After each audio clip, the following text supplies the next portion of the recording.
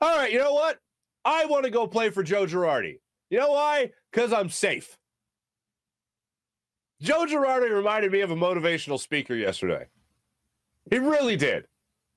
He reminded, hey, it's okay. Like at first, my first thought was Chris Farley, Matt Foley, right? That motivational speaker. And then I noticed, and then I was like, no, he's more like Stuart Smalley to pull out these old Saturday Night Live references. It was like, you know what? You're good enough. You're smart enough. And doggone it, people like you. That's what I was thinking when I was listening to Joe Girardi yesterday. Uh, and guess what? There's more on staying the course. Here's Joe Girardi. Everybody in that room, everyone in this room, right, has went through hard times in their life. And you get to the other side, right? Or you wouldn't be in that room, right? And sometimes what you're going through seems like the worst thing that you've ever been through, but if you look back, you can probably find point to a spot in your life where you've got through it. And they just got to c- continue to do their work, continue to grind this out. It's going to turn. It's, it's, it's going to. And I believe in them. I believe in Knebel. I believe in everybody in that room. Um, there's a lot of fight in that room every day. We've been through a grueling two and a half weeks, and we've been through some really tough losses. They'll respond.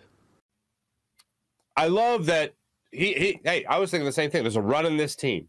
They're going to be better than what they are. But I did say it would come after Joe Girardi was removed as the manager of the Fighting Phils. Uh, because I do believe they're better than what we have seen. And I, I, hate this thing that keeps on coming out about the Phillies. Oh, their schedule gets so much easier after this. Oh, we've been through a grueling two and a half weeks. Okay.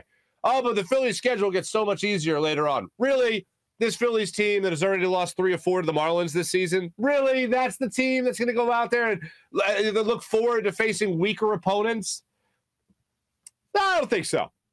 Oh, the schedule gets easier. Yeah, for who? Other teams or the Phillies?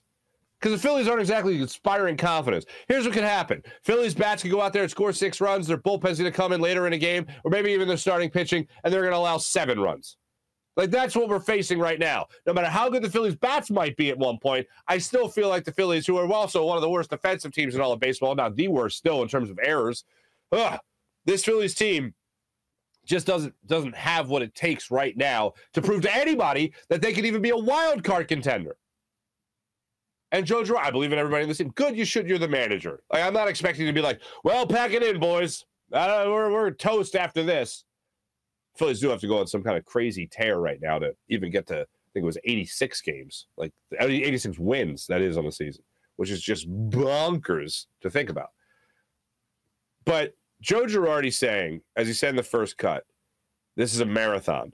The first thought that went through my mind when I heard Joe Girardi say last night it's a marathon. I was thinking, I don't think for you, Joe. I think for the rest of this team, it's a marathon because I always say it's not like the Phillies are going to fire this entire team and then keep you as a manager and bring in new players. No, that's not the way that's going to work.